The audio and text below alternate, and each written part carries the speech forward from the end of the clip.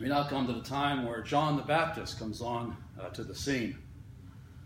I'm going to read from the uh, third chapter, starting at the first verse of the Gospel of St. Matthew. Hear the word of the Lord. In those days, John the Baptist appeared in the wilderness of Judea, proclaiming, Repent, for the kingdom of heaven has come near. This is the one of whom the prophet Isaiah spoke when he said, The voice of one crying out in the wilderness, Prepare the way, make his path straight. Now, John wore clothing of camel's hair and a leather belt around his waist, and his food was locust and wild honey. Then the people of Jerusalem and all Judea were going out to him, and all the region along the Jordan. And they were baptized by him in the river Jordan, confessing their sins.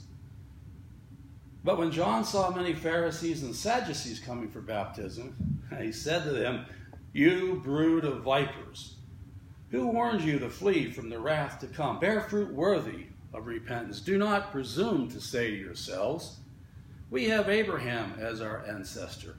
For I tell you, God is able from these stones to raise up children to Abraham. Even now the axe is lying at the root of the trees. Every tree, therefore, that does not bear good fruit is cut down and thrown into the fire. I baptize you with water for repentance, but the one who is more powerful than I is coming after me. I am not worthy to carry his sandals. He will baptize you with the Holy Spirit and fire. His winnowing fork is in his hand, and he will clear his threshing floor, and will gather his wheat into the granary, but the chaff he will burn with unquenchable fire. May the Lord add a blessing to the reading of the word. Let us pray. Almighty God, we pray that you'd open our hearts and our minds, that not only would we be hearers of your word, but that we would be doers of your word. Um, this is an amazing uh, passage of Scripture. There's so much in it, it's really hard to take it apart and get through the whole thing. But I'm going to try to go through it a little bit and see what we can uh, kind of feel took place back when it happened and how we can put ourselves into that picture and see how we can, uh, what we can learn from it and see if it might change us in any kind of way, shape, or form. Because in our preparation for this coming of Christ, the birth of Jesus, we need to make some changes if it's going to really get into our hearts in the way God has called it to happen for us. Now, you see here when he says, Repent, for the kingdom of heaven has come near. The word repent simply means we're going to change. We're going to make a change. We're going to change direction. The way and the things that we used to do are no longer the things that should be done. Now, that's a that's a scary message, is it not? I, I have a clip on there, but I, I, don't have the right sound on that on it. But I don't know if you've seen the uh, commercial for GE, where they have this funny blue little guy with a big and ugly tail that's born, and no one wants to be around it, and it walks out of the hospital, and everybody rejects it. And the more it goes, the dirtier it gets, and sleeps in the street, and his tail is all filthy and people look at it just in disgust and try to get away from it. And then finally it comes up to this door and, it says GE over the door. And then this person comes out and welcomes, welcomes this little blue fellow with the ugly tail in. And the next thing you know, this little blue fellow with a peacock tail like and all color and beautiful and the light shining on him steps out on stage and everyone's clapping. And it's about the imagination of new ideas. New ideas are always scary. New ideas leave us wondering where to take the next step. But this is what the scripture is telling us. It doesn't have to be scary. We can put our feet out, we can move out, we can do the things we really feel God is calling us to do. We can make those changes. Our hearts can be open no matter how closed they may have been. We can have prejudice, we can have bigotry, we can have hatred, we can have all of those things. I know that I'm hoping we don't all have all of those things all together in abundance, But I think there are times when we get tired. There's times when we get frustrated. There's times when things aren't going right. There's times when people abuse us. There's times when we don't get our way. Some of those things come out. Cheryl will vouch. They come out in me. Yeah, it's amazing how easy it is to get in trouble. Do you realize that? Cheryl and I had a little disagreement. Yeah, we were going back and forth, back and forth. And finally, you know, I thought I'd close this down in an appropriate way. So I said, Cheryl, I would agree with you, but then we would both be wrong. Wow. Maybe not the right thing to say. you know, and she immediately told me I was in a doghouse and I had to gain points to get out. Well, these are the things we have to change. There are so many things that we have to change. And the thing about the scripture is it's telling us that the kingdom of God is near. And we have to make straight the pathway. That we are the ones who are responsible to be able to be the witnesses, the ones that walk and carry the light, and the ones who make the modifications and the adjustments in our life to take on this new, exciting, but scary new thing because it can be scary to commit yourself 100% to something. And Jesus Christ is coming. Jesus Christ is here. The Holy Spirit surrounds us. And we have a mandate to do the work that we have been given. So, how, where do we start? Well, we already started with the Word of God right here. And we, we remind it, it is in fact the Word of God. It's not something that someone's picked up from WikiLeaks. It's not something that we find on Wikipedia. It's not something on fact check on the internet. It comes from the prophet of God. The word comes through the prophet. We read from Isaiah that the shoot from the stump of Jesse would come. That is what Jesus is. Ancest- uh, Jesse is the ancestor of Jesus. And then we read also, if I can find it, the New Testament prophecy, which is just as strong. And this, this comes from the New Testament Zechariah, that is uh, John the Baptist's father. Then the father Zechariah was filled with the Holy Spirit and spoke this prophecy. He said, And you, child, talking about John the Baptist, will be called the prophet of the Most High. For he will go before the Lord to prepare his ways, to give knowledge of salvation to his people by the forgiveness of their sins, by the tender mercy of our God, the dawn from on high will break upon us, to give light to those who sit in darkness and in the shadow of death, and to guide our feet unto the way of peace. Guide our feet on the way to peace. And so we have 800 years before the birth of Christ. We have two passages of Scripture that lead us into this prophecy. And from Zechariah, the prophet of the New Testament, we have also the prophet telling us that there is one who's going to come that must come before, but is not greater than the one who comes after, which is Jesus. And he is the messenger.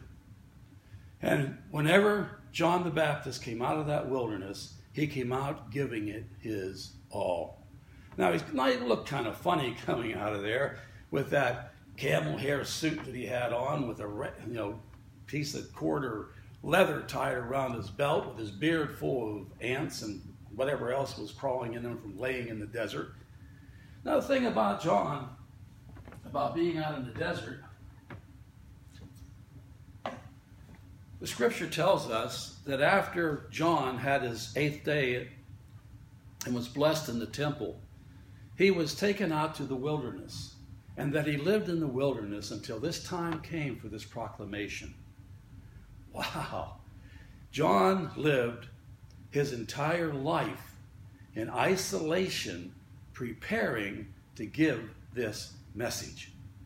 He spent the hot days of the desert, the cold nights of the desert, the isolation to take away the filters that pull, would pull him away from God, remembering the stories that he is being taught remembering where he has seen other people, uh, his father, uh, work in the temple before of his eighth birthday. All of the things he did, he sat there preparing himself for this moment in time. And this is our moment in time. And the really great thing about this, this from Zechariah's prophecy, he says that we lead with the light to peace. You know, it's, it's hard sometimes because we get ideas in our head, uh, we get our own positions, and obviously we get ourselves in trouble with our own positions. And we have John the Baptist coming here, and as soon as he sees the scribes and the Pharisees and the Sadducees, he says, You brood of vipers. Now, you don't make friends calling people broods of vipers. I've even noticed on Facebook, I get blasted off the page a lot because I think I'm telling the truth, and other people take it as, well, I don't know what they take it as. They don't like it. But at any rate, we have to be prepared for that because the scripture tells us that we are to bring about peace. Peace, as it is written, shalom in the Old Testament, the Latin and the Greek has changed it to other translations, and then in the English we have uh, translated peace. But it loses some of its power when we do that. Shalom means the unconquerable benevolence and goodwill and love and grace to all. That we only really want nothing but the very best for other people. That we cannot be content if the other people do not have what makes for their very best in life. And that Shalom says that we need to wrap around them with that love. We need to be able to encourage them with that grace. We need to take the unconquerable benevolence, which is uh, total and complete grace, regardless, without judgment, and give the forgiveness and bind the wounds and raise the people and walk with the others. And, it doesn't mean that's just Christians, it means everybody, because God did so love the world. And through this process, we grow. We grow and we grow and we change. It's amazing to me how stuck people can get in old ways and in their old interpretations of what God is saying. We need to believe that we have a living word, a word that changes over time. That God doesn't change, but our interpretation of God's word changes. I was uh, got an email and I was thinking, this this I think makes the point. Uh, you know how we look back and say about the good old days and how wonderful they were? And some people think of the, I don't know, 40s, 50s. And we think everybody was in church and every relationships and families were so close. Well, I happened to pick up something from May of 1955. Housekeeping Monthly published an article. It's entitled The Good Wife's Guide. I can't read all 18 of these things, it would take too long. But I'll, I'll read a couple, a few of them. Have dinner ready and plan ahead, even the night before, to have a delicious meal ready on time for his return. This is the way of letting him know that you have been thinking about him and are concerned about his needs. Most men are hungry when they come home, and the prospect of a good meal, especially his favorite dish, is part of the warm welcome needed. These are good tips. Prepare yourself. Take 15 minutes to rest so you'll be refreshed when he arrives. Touch up your makeup. Put a ribbon in your hair and be fresh looking. He has just been with a lot of work weary people. He doesn't want to look at you. Be a, here's where language really kind of goes off. Be a little gay and a little more interesting for him. His boring day may need a lift. One of your duties is to provide it. We don't need to take that literally, or we could bust up the family very quickly. He comes home, there's two women there waiting for him. clear away, clear away the clutter. Make one last trip through the main part of the house just before your husband arrives. Gather up the school books, the toys, the papers, etc., and then run a dust cloth over the tables. I'm going to skip ahead in some of these.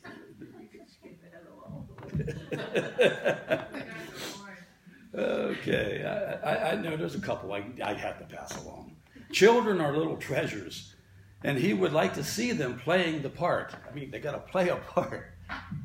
Minimize the noise. At the time of his arrival, eliminate all noise of the washer, dryer, or vacuum. Try to encourage the children to be quiet. Oh my gosh.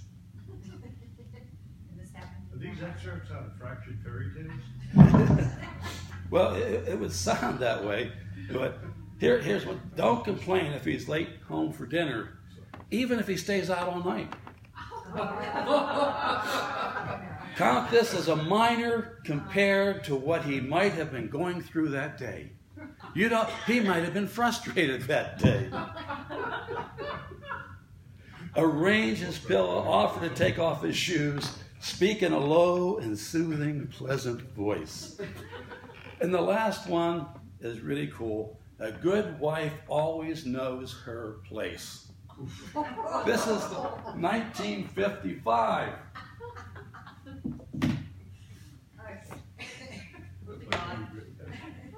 I have been, and Shirley has been too, at weddings that were of rather fundamentalist nature, where the wife was told to remember that a full quiver of arrows, which means a million children, would be her duty.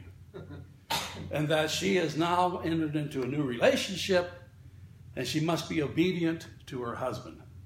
And both of us like fall out of our chairs and onto the ground. but I, I suggest, and, and I'm not saying that I deny someone their faith, and I really don't mean that. But I mean we have a living word. I believe we evolve in our understanding of that word, in the knowledge of the word, the application of the word, and what the true message was meant to be to us. And that is shalom, peace, the unconquerable benevolence, the goodwill that goes to the wife as well as it does to the world. And the wife to the husband, the same unconquerable benevolence and goodwill, wrapped in the love of God. And that might change the way we look at those past scriptures and this the, and the way the relationships are formed and, and the ones we accept and the ones we reject. I don't see in the scripture where any person anywhere in this world is rejected by God. I just don't see it. No one in this world should be rejected from our embrace. And that's what the scripture tells us. And that change is scary to a lot of people. But that is the call of Christ. And I'll just end it with Amen. I'm so glad I got to pass those tips along to y'all. Shirley first before you gave this, right? no.